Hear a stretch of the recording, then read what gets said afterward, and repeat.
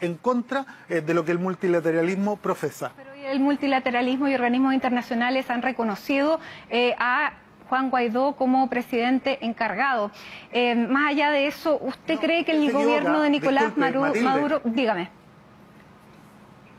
Matilde, usted se equivoca. No hay ningún organismo internacional que haya aprobado ninguna de las resoluciones que ha presentado Estados Unidos.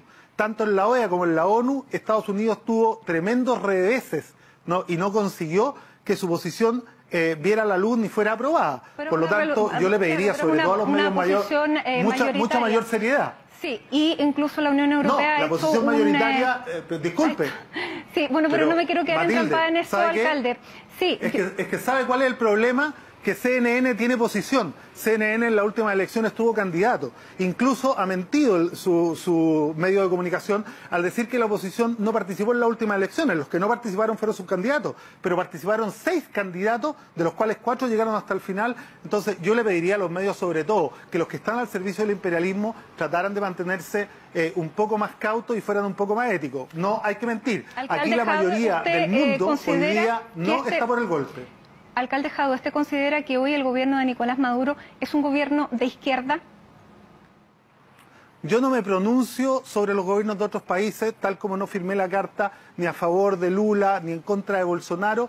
No me, eh, no, no me refiero, mira, a mí me llama la atención la hipermetropía que han desarrollado algunos políticos chilenos. Tienen vi- vista y ojos para ver lo que pasa en Venezuela, pero no eh, en Chile.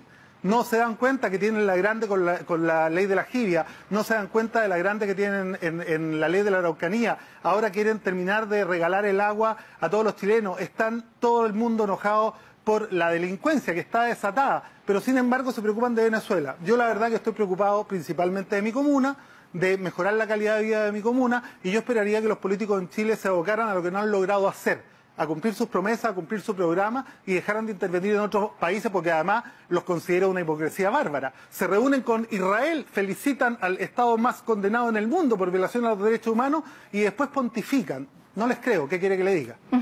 Eh, ¿Le preocupa la situación de los derechos humanos en Venezuela? Me preocupa la situación de los derechos humanos en Venezuela y en todas partes del mundo. No tengo una preocupación selectiva. Y yo espero que se resuelva y que no se sigan cometiendo violaciones a los derechos humanos, incluido la- eh, el, el respeto al derecho humano de la autodeterminación de los pueblos, que también es un derecho humano. Muy bien, muchísimas gracias, alcalde Daniel Jadwe. Muy buenas noches. Gracias a usted, Matías.